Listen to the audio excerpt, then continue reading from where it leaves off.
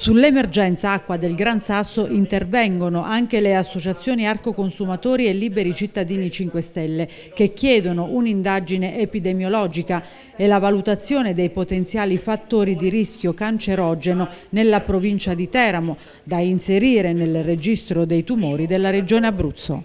Secondo Arco Consumatori Abruzzo anche i sindaci hanno le loro responsabilità in questa vicenda.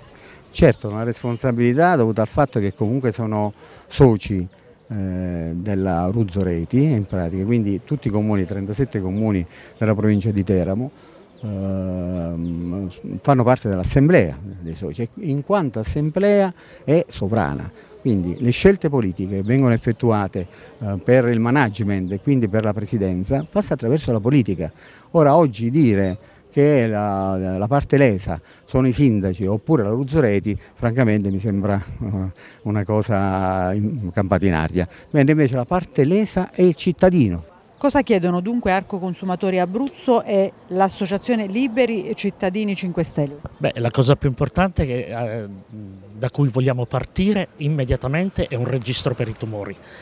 La provincia di Teramo si deve cominciare ad adeguare ed avere veramente un registro dove capire quello che sta succedendo e quello che è successo negli ultimi vent'anni, anche perché in questo modo aiuteremmo gli esperti a capire veramente la realtà su questo territorio di quello che sta succedendo, di tutte le situazioni, di tutti i casi purtroppo in elevato numero che abbiamo sull'inquinamento dell'acqua, sull'inquinamento del suolo e sull'inquinamento dell'aria.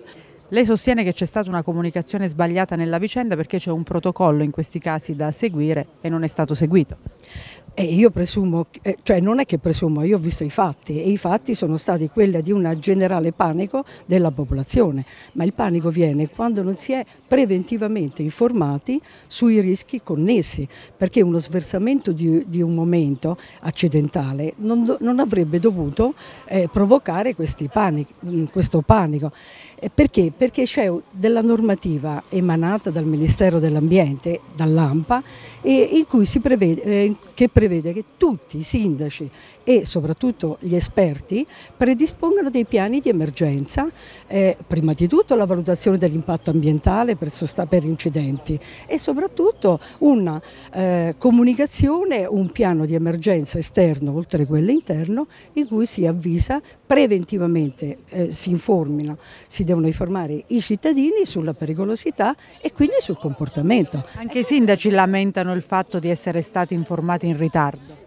Beh, veramente eh, il Ministero dice che sono i sindaci che fa capo a loro la responsabilità di comunicare preventivamente eh, i rischi.